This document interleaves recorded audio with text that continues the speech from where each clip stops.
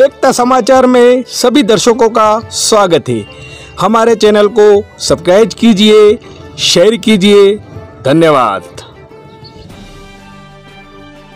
डूंगरपुर जिला कलेक्टर सुरेश कुमार ओला ने किया वागर के कलाकारों द्वारा निर्मित शॉर्ट फ़िल्म प्लीज़ पापा लौटाओ को यूट्यूब पर लॉन्च। यूट्यूब चैनल देशी दबंग के निर्देशक दिनेश नारनिया के निर्देशन में बनी शॉर्ट फ़िल्म का आज जिला कलेक्टर सुरेश कुमार ओला ने लॉन्च कर स्थानीय कलाकारों का उत्साहवर्धन किया। फ़िल्म में कोरोना काल में जिन परिवार के मुखिया की अकाल मृत्यु हुई है, उन परिवार पर आए आर्थिक संकट का मार्मिक फिल्मांकन किया गया है। साथ ही उनकी मदद के लिए आम व्यक्ति को आगे आने का आह्वान किया गया है। इस अवसर पर दिनेश नरनिया, सुरेश सरगम, मंथन भट्ट, योगेश पंड्या, कृष्ण सिंह एवं जयेश पंड्या आदि उपस्थित रहे।